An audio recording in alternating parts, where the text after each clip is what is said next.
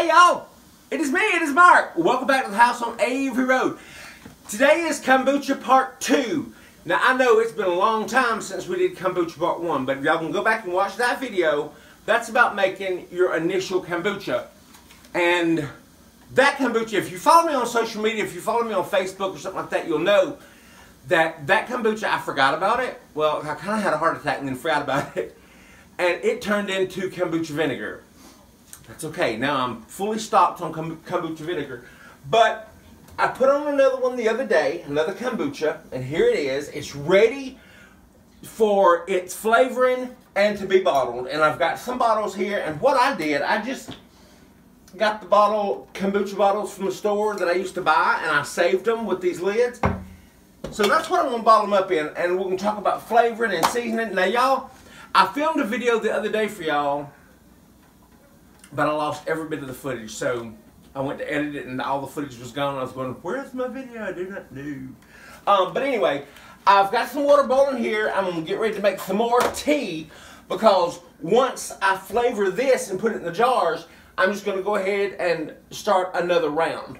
But if you want to see how I start a round of kombucha, go back and watch kombucha part one. So I'm going to get this tea made and then we're going to start flavoring the kombucha that we have. So I'll see you in just a second. Okay, let's flavor some kombucha. So I'm to take this off. Y'all come over here and look. Look at this gorgeous SCOBY on top. It is beautiful. So I've washed my hands. So I'm to take out my SCOBY. So pretty. Look at that. Just gorgeous. Now, I'm going to take that SCOBY and I'm going to reserve about a cup of the liquid. A little bit more than a cup probably. But a, a cup's all you need. This is one and three quarter cups. So I'm going to pour that in there on the SCOBY. So yeah, so about a cup. Okay. That's a cup. Now we're going to put this aside because this is what we're going to need to do the next batch of kombucha. So I'm going to put this right over here. Now, I have got in here, down here, this is the SCOBY that I started with. So I don't need this SCOBY. So I'm going to take this out and I'm actually just going to throw this SCOBY into my garden. I'm going to, I'll just bury it in the soil and it will, it'll do really good in the soil. So what I'm going to do now is I'm going to pour off this kombucha.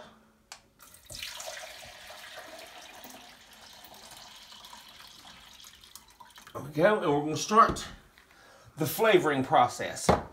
So I need, hold on, I need a paper towel. Dry my hands.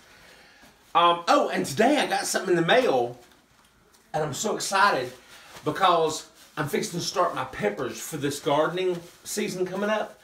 And um, I got my six thing, my six trays in today, so we can start some peppers.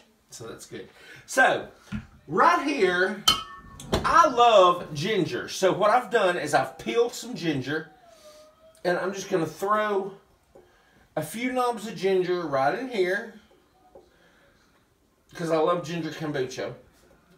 We're going to do ginger pomegranate. So I got some of this pomegranate juice today. I'm going to pour just a little bit, not much. Don't even ask me how much, just about that much. Into here. And now I'm going to load it with this.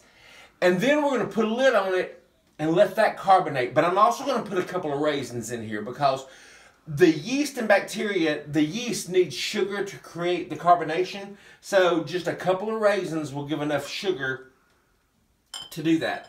There may be enough sugar in the pomegranate, but I just I just want to add a little bit more sugar. So here we go. Pouring this up. Now, I don't drink as much kombucha in the wintertime as I do in the summer because in the summer it is so refreshing. over some ice. It's just so incredibly good.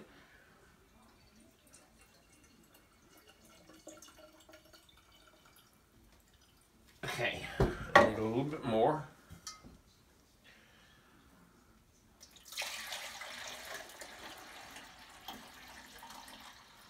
Look, y'all. And I, I tasted this earlier, and it's the perfect tartness versus sweetness. It's absolutely perfect. So.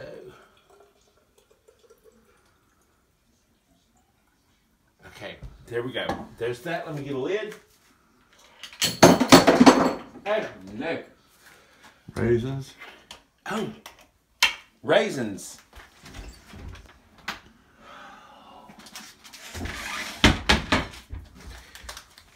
Thank you, Winter, for reminding me of the raisins. Because the raisins really won't do anything but add a little sugar. And they'll they'll poof up, y'all. They'll get huge. So there's about four raisins in there. All right. Put the lid on here. And now we're gonna let this go until it gets good and carbonated. And I'll show y'all the carbonation after, I'm gonna let it sit for about uh, two days and we'll show you the carbonation. Gosh, how pretty is that, y'all? Look, it's gonna be delicious. Okay, Put that right there. I'm gonna continue with these bottles doing the exact same thing. Okay, so I got this big one. I'm not sure how much this is. It's just like the big kombucha that you can buy at the store. Um, I got that one, and I got three of the individual serving kombucha bottles. So I'm gonna let those sit there for two or three days. I'm gonna check the um, carbonation on them. I'll open them up and check them. And they'll get really good and carbonated.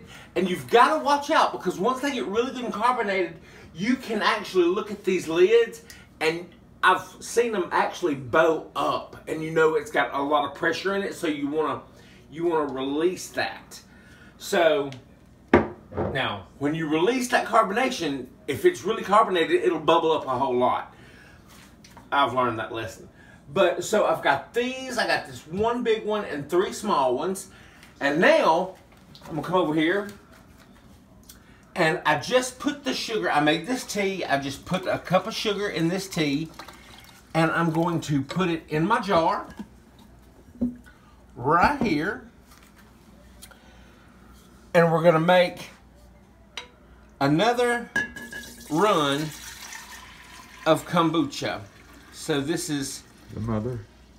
well, no, this is our sweet tea right here, Oh. and the sugar hadn't quite dissolved, so I'm gonna stir it up a little bit in this pot because I put this pot outside and it's cold outside, so it hadn't really dissolved a lot. But we're gonna stir this up really good.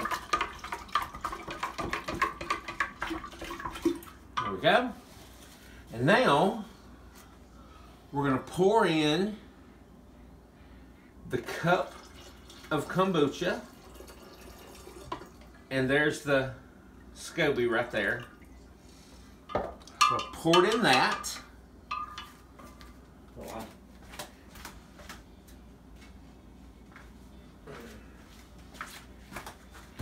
And now remember, if you've not went back and watched the other video, please do that. I'm going to link that in the description. But this is some more distilled water because you don't want to use chlorinated water. So we're going to pour this in here. And this is going to make another gorgeous gallon of kombucha. So, thank y'all for joining me here today. If you liked the video, please give it a thumbs up, leave a comment in the comment box, subscribe to the channel, um, ring the notification bell so you get notified every time that we post a video. Look for some more videos coming out very soon. I'm so excited that I'm about to start my peppers and things for the, the spring garden. We're going to be working some in the garden. It's going to be fantastic. So come along with us. And until next time, we'll talk to you later. Bye! Bye.